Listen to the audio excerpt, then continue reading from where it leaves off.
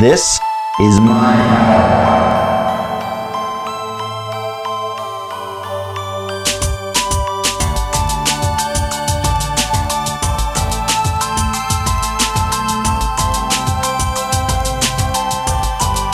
Hi, I'm Bryce Tomlinson from New Depth Media. One of the newest toys I've added to my arsenal of media developer tools is Magix Software's new Xara Web Designer 5. Using this tool, making slick, up to date websites has never been easier. But it's more than just a web page maker. It's also very good at making Flash animations. Today, I'm going to show you how to make a simple photo slideshow in Flash, which you can incorporate into your website with ease. With this program, you can free yourself from the bonds of having to host your slideshows on sites such as Flickr or MySpace, and actually host it right on your own site. Once you have Xara open, click on your File menu and then select New, then Animation. Drag and drop a photo into your workspace and use the Selector tool to move your photo into position in the framed area. You can size the photo using the corner handles, or you can also select the photo tool and crop the image to fit the frame. Since the default time that a frame stays on the screen is only a half second, you'll probably want to change that. I'm going to have my picture stay on for 3 seconds. Be sure to click the Apply button, as Xara is fairly picky about this. Then click Close. In order to animate or fade these pictures, you must give each photo a name. Right click the photo and select Names. I'm going to name this photo ASA1 and then press Enter. Click the Close button. Now, click the Copy button in the Frame Gallery. This will duplicate this frame and give you a new frame with which to start the fade.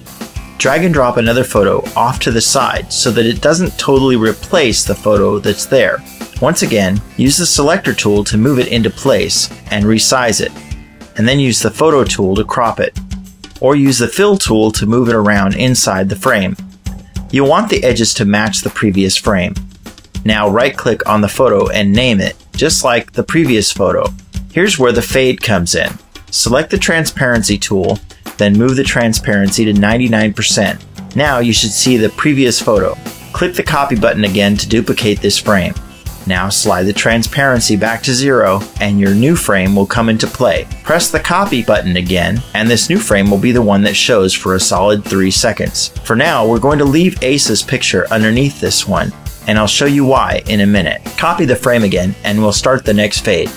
Drag a new photo over to the side and move and resize it just like the others. Right click and select names and give this photo a name too.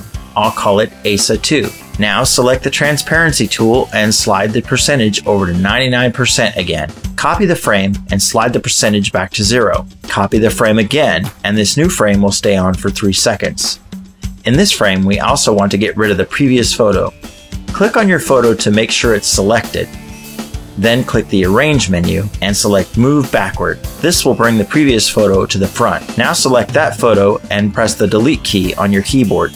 There's still another photo underneath this one, but we're going to leave that first photo there because we're going to fade back to it to start the slideshow over again. Copy the frame, and this new frame will begin the fade. Just leave it the way it is, and copy the frame again. Now, slide the transparency all the way to 99%, and you're back to the beginning. Click on the Preview Flash button, and you can see exactly what your new slideshow is going to look like. To export your Flash file, go to the File menu and select Export Animation. Choose a file name, and Xara will create your SWF Flash animation, which is now ready to embed right into your site. Here's how that works. On your web page, create a rectangle about the size you want your slideshow to be. It doesn't matter what color because it will be replaced by the SWF file we just created. Right click on the rectangle and select Web Properties. Click on the Placeholder tab and click Replace with Flash. Click the Browse button and select the file you just created. Then click Apply, then OK. Click on the Preview Website button to see how it looks. Thanks for watching.